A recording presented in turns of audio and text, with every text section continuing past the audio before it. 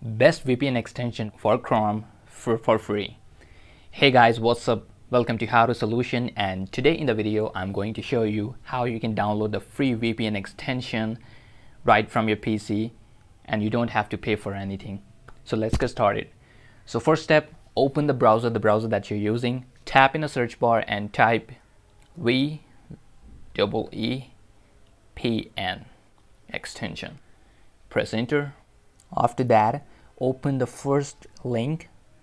From here on well I already downloaded the extension uh, in my Chrome. If you not download it you simply you know click here add on a Chrome. If you select the here you can download an extension right in your PC after that go on the upper right corner select this extension section. Now open the free VPN for Chrome right here.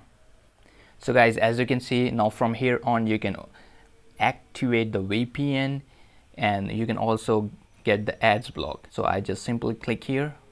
So just like that you can download the extension for your Chrome for free and you don't have to pay for the VPN so that is it in this video.